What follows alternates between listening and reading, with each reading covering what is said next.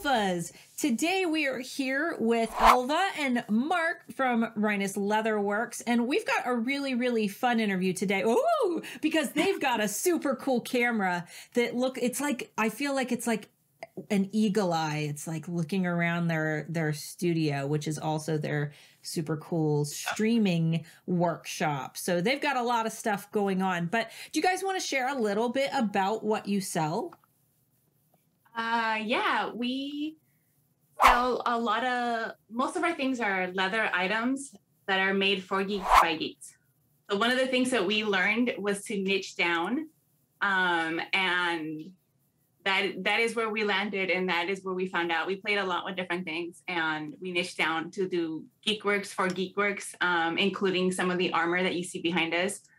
Um, our goal is to have things of um, that you would find at a Ren fair, basically, or that you would have or need at a tabletop gaming um, like area, or that you would need for the game itself, um, like uh, dice trays, um, dice bags, little things like that. Um, all made really high quality and all by hand by us. Everything that you could use to play a role playing game and immerse yourself in a role playing game, really. Awesome. right. Yeah, we and I noticed that your um that your cat dice trays, like I at least in your reviews, it's such a, it's such an interesting because you know when you think about tabletop gaming, you. I, I think that this is something that someone who's not in this niche, which Mark and I are, they wouldn't like think that oh the kitty the kitty dice tray is going to be the thing that takes off. But I was looking at your views and everybody loves the kitty, and I'm like, yeah, that makes Yeah. sense. That makes complete sense. so um you oh. You guys had a um pretty cool thing happen to you a couple what was it last year that you Three were years ago now? A year and a half ago, I think it was. yeah because it had to have been way earlier for you than what everybody got to actually see it so do Yeah. you want to share with the alphas what that absolutely bonkers thing that happened to you was Uh, sure. Yeah. So our bonkers moment was that our armor, which is similar to the one that you see behind us, was featured in Lucifer season five finale. Um, one of the main characters for that season and the main actor got to wear things that we uh, created here, and I have to say that it, it was amazing. First of all, and we also get to say that we tried it on first before we sent it. So you got to wear what we were wearing. So the pictures that you see on um, our Etsy are pictures of uh, Mark and myself wearing it for our Etsy. Th- That's the actual product that we sent to the show on Lucifer on for Netflix. Netflix. Oh, that's, That's so cool. awesome. I'll uh, I'll make sure to like flash a photo up on the screen for everybody so they can see it. That is so cool. Well, I was gonna ask you um, what your like proudest business accomplishment was, but that seems to be one that's probably up there. So, do you have any others though that outshine that that moment for you? Not yet. Not yet. um, I mean, there's there's a lot of little milestones. Um, we say around here, um, you celebrate every victory, right? Because building awesome. a business isn't isn't one one goal and then you're done. It's you know, it's it's being able to take all those little milestones and celebrate everything. That's one goal, but um, our end goal was for Mark to be able to get into movies and things. So we've actually started to make connections with uh, people working in, in um, Los Angeles and like agencies and different things. Um, they're starting to guide us on how to do things because we got on Lucifer. So we're hoping to be able to build a lot more in the future, not just what we did for Lucifer. And you can see our corgi in the background. He's actually very active in our streams. Um, Oh, so he he knows he's allowed in here, so you'll see him walking in and out when we're streaming. He's your Bubbers. Bubbers Yes. is always. Bubbers Yes. has turned into Spokes Kitty. Yeah. Um, so that's really interesting, and I I think that that's one thing that I- I, hear this a lot when you get one big like breakthrough feature, and I think it's that way for like even actors getting roles. Like you got to have your breakthrough role. And then you have that little piece of notoriety that you can use as a, hey, we've already done this. Would you like us to contribute to this project? Do you mm-hmm. feel like that's like having that cool badge of authority has allowed you to be able to reach out to these other potential Yes, absolutely. We're able to say things like, um, well, we've done this. And then they go, oh, so you already have some sort of foot in the door. You have, you're building, um, it? You're building an album that you can show to potential clients or, if, and then they tell us how to keep going or they're helping us like do the next steps. Um, but yeah, so it's definitely, um, it's not the end all by any means, but it's definitely a, a step in the right direction. Yeah, it's, it's a step in the right direction. Yeah. Awesome. And you know, the funny thing is, um, I'm sorry. The funny thing is that um, I wanted to throw this in there is that I wanted to thank you, you guys for the handmade alphas because part of the reason why we were able and ready to do such a thing was because of the alphas.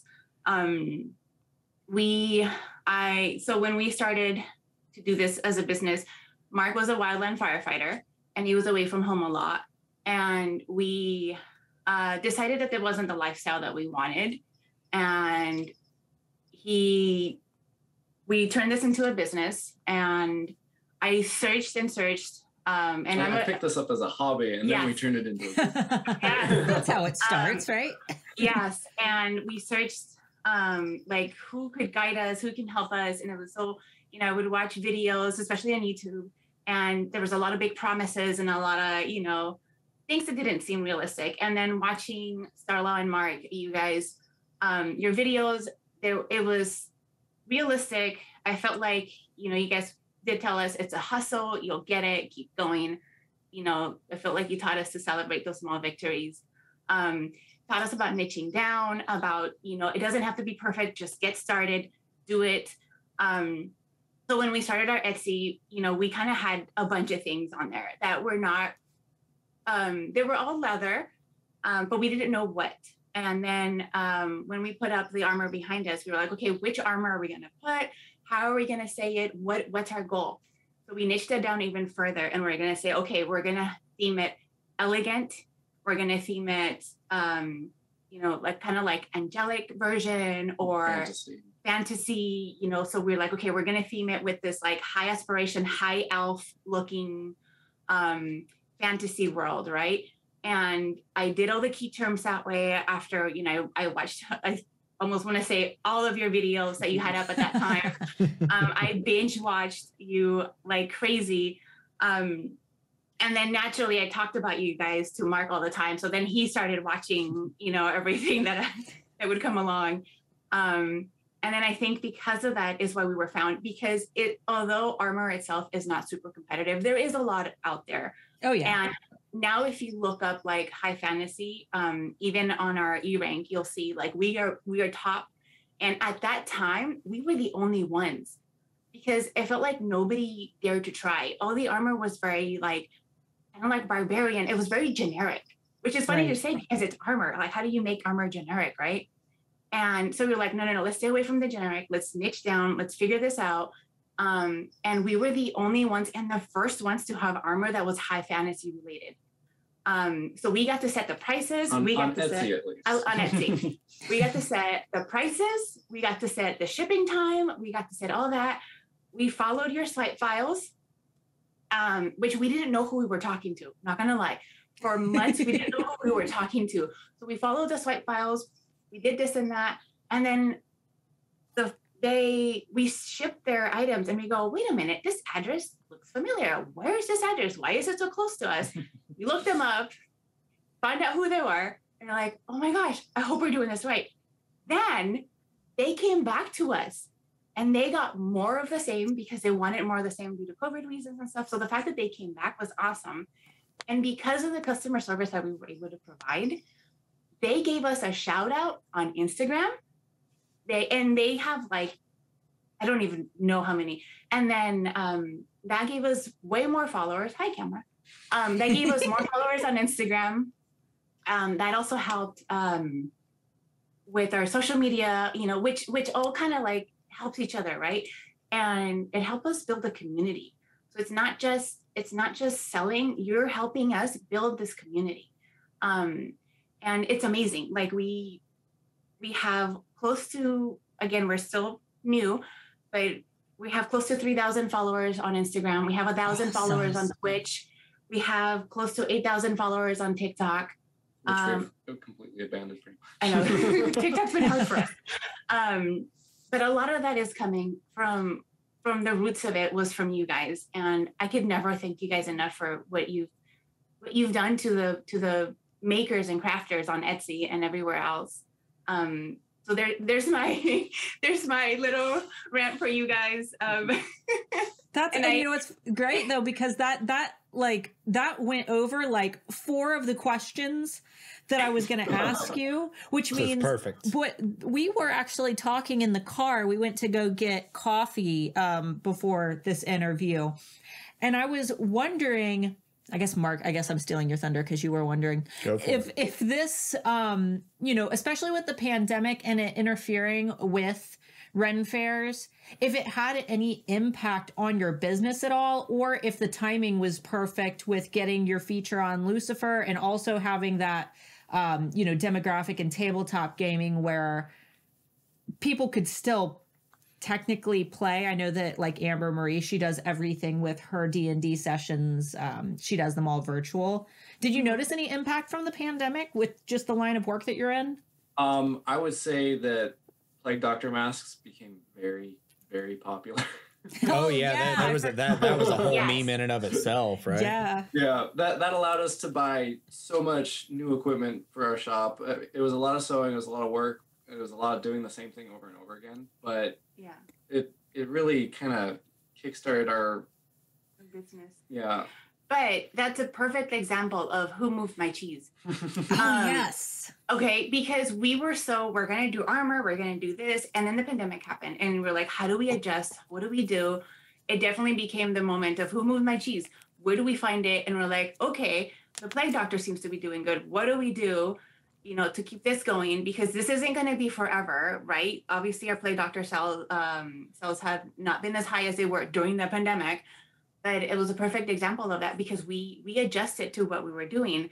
Um, and kept it going and it kept our business alive and in fact we we were able to upscale our business and got like this big sewing machine and we got the camera equipment from that and we got like a clicker press and there's a lot of things that we were able to buy because we because we adapted I love Um, that you bring that up though, because we have a lot of alphas who they make money selling, like maybe they have a breakthrough product that makes a bunch of money, but then they don't take that money and invest it back into their business. And then that money runs out. Like, for example, all of the Etsy sellers who jumped on Etsy to sell masks, but now, Mhm. you know, everybody has masks and Mhm. nobody's really buying masks anymore. And they're just like, I don't know what to do now. And the, and the algorithm knows them for masks. So if they just stop selling the masks, now they're but they don't then have a reason. they blew all that money on things that didn't help them to actually grow a business. They went on vacations and things. So I, I'm really glad that you brought up the fact that you invested it back in.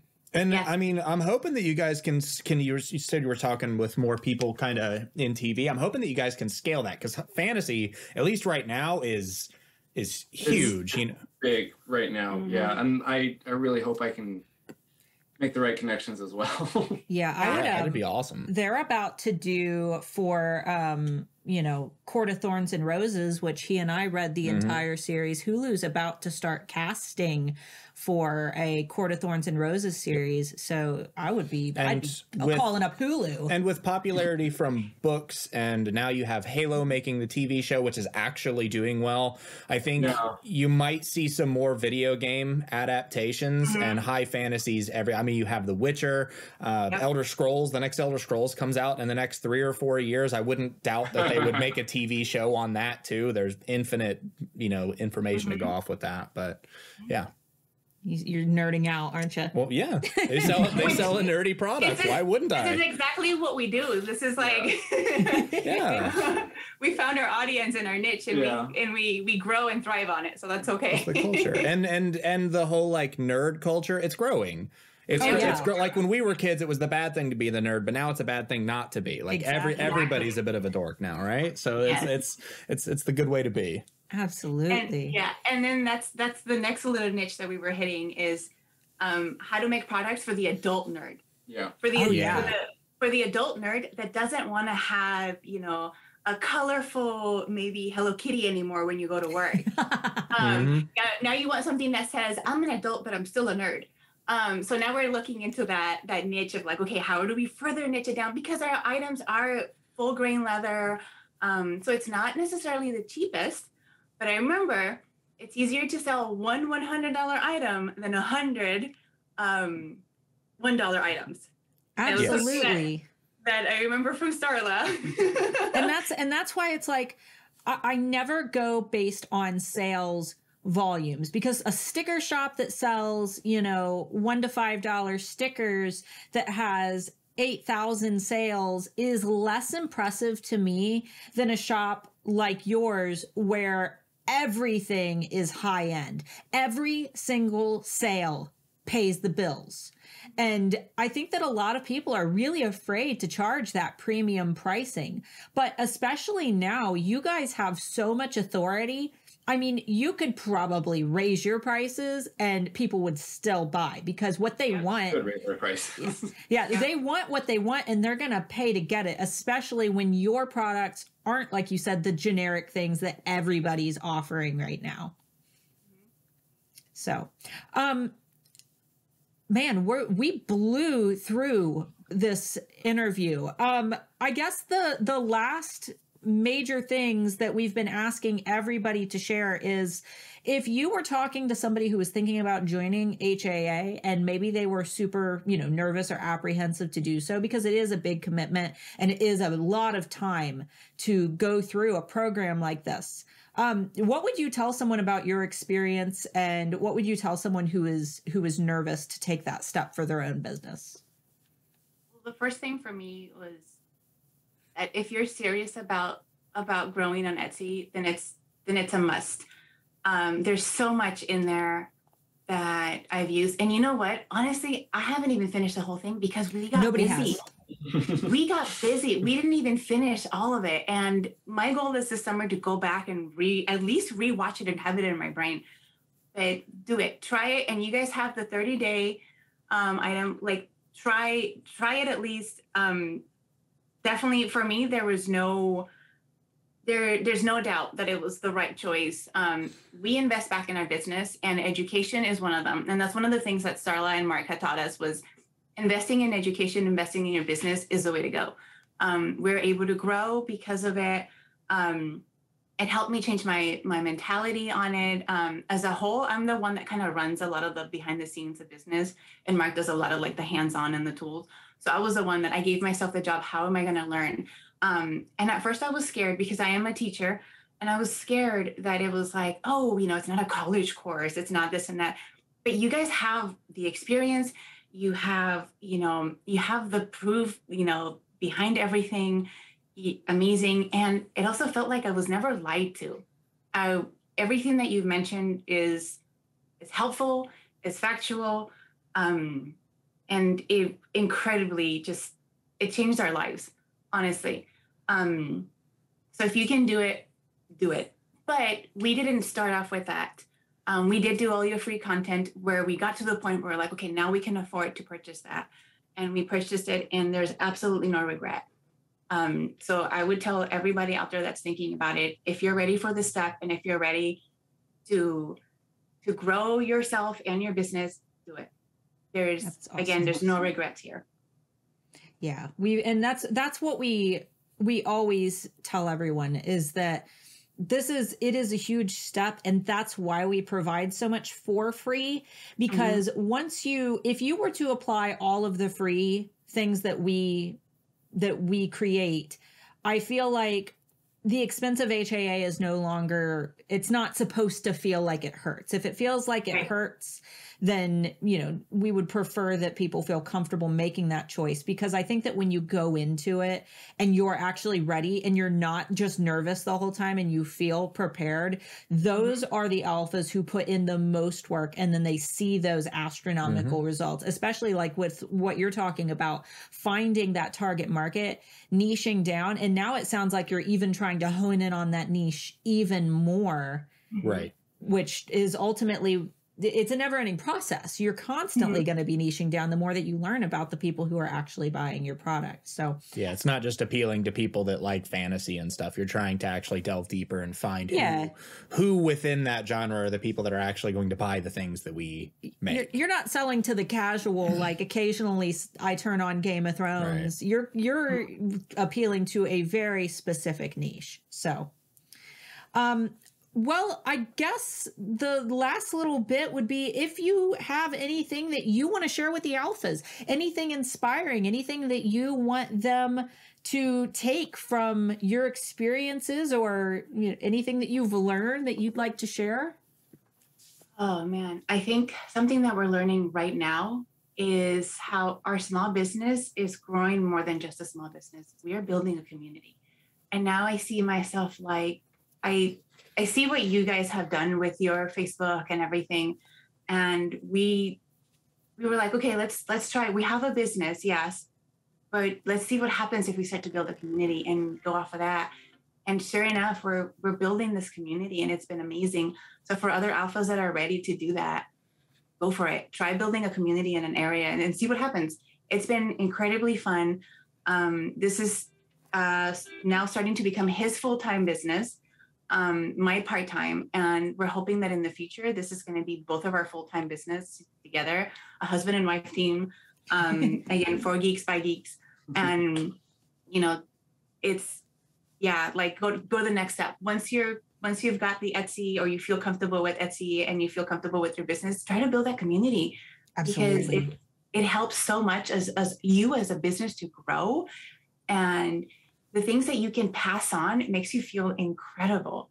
Um, when you teach others like the way like things that you've practiced and like it, it helps you learn everything once more and then you're helping out other people. So i mean that's that's my advice for other alphas that have already been alphas and are ready to take the big step That's awesome. That's and that's one of the things I think we've we've got it on a big plaque over on the wall that someone made for us. I always say that the role of a leader is to build more leaders. And then there are the ty- there are the types of leaders who sit on their golden throne and they look down on everybody and they want to maintain that like superiority over everyone below them. But that's not leadership to me. Leadership is when Yeah. you actually are a you are trying to build people up to be equal to you. And that's what community building is all about especially you said that you do you do twitch. You're active with um, you know the communities who follow you on social media.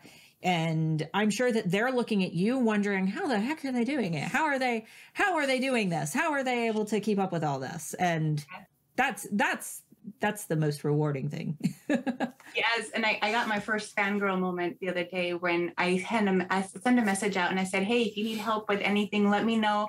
You know, I'll I'll send you videos from Starla to get you going." um, and then they they were like, "I can't believe you're talking to me," and I was like, "It's just me. Like, who who do you think I am?" I was like, "Oh, okay. Like, I see you on Twitch and I see you on social media." And I was like, "Oh, cool." You're on TV. Yeah, that's that's that's how we felt setting up the interviews because we had everyone there like, I'm so nervous. I'm like, don't worry, I am way more nervous than you are. So all right, guys, thanks so much for hanging out. You're our first uh you're our first couple. So this was a lot of fun. Alphas, thanks so much for watching, and we'll see you in the next alpha interview.